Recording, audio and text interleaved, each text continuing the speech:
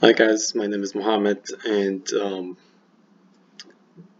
I, Yogesh and I, Yogesh Patel and I have worked on to solve the um, this enhancement to JSS to change JSS component rendering behavior, based on user session data. We chose that uh, topic just because we wanted to challenge ourselves on working on JSS since we barely uh, touched JSS before. Um, so we thought that would be fun. Um, and then the idea we had is um, to make a module um, that is basically targeted to uh, healthcare industry um, to make uh, the journey of users who visit those uh, medical websites easier. So the goal of the component is um, to personalize the content shown on pages based on the user journey uh, throughout the website. Um, and that is done heavily uh, through personalization, Sitecore personalization. And I'm going to walk you here uh, quickly through example. I'm not going to go over the prerequisites or installation.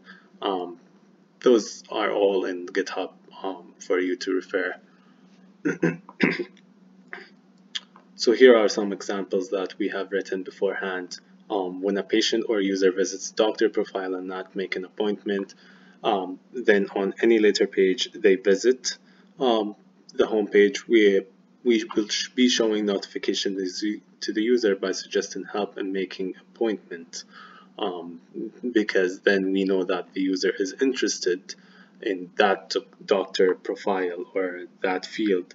Um, so we would um, show a notification reminding this patient that, hey, it's as easy as that to make an appointment.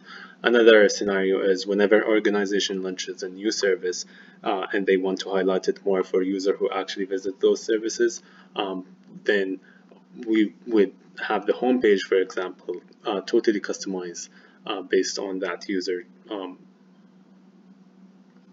um, history.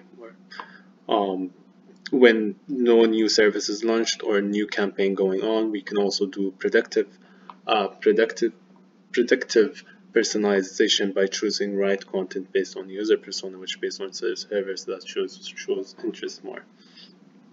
So let's walk you through quickly here, explaining the application uh, with screenshots. Maybe that's uh, helpful. Um, home page shows page hero content, uh, which you can see here.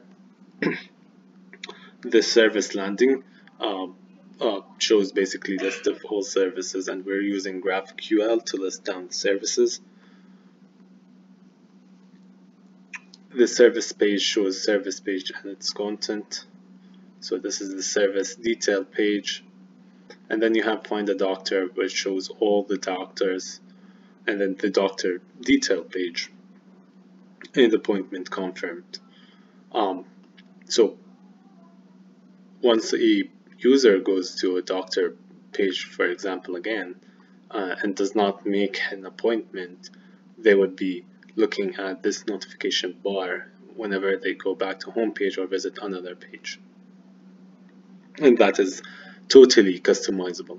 And then the other um, um, the other thing that also happens is when the uh, user visit a service page and then they go back, the, the basically the hero content uh, changes based on uh, uh what the user have visited.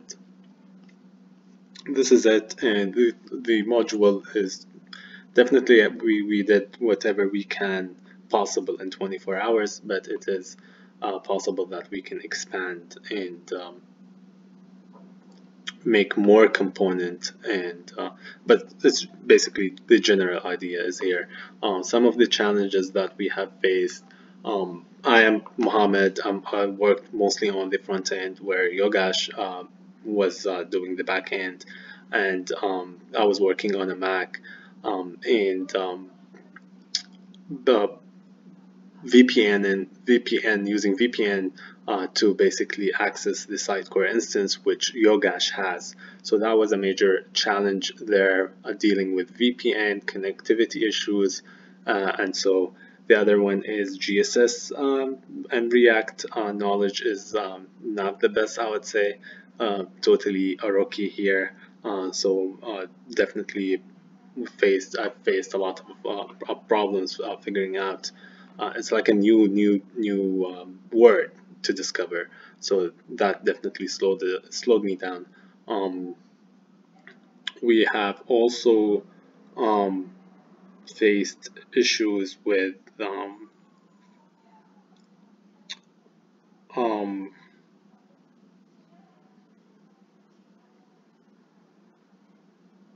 sleep. That's why I paused here.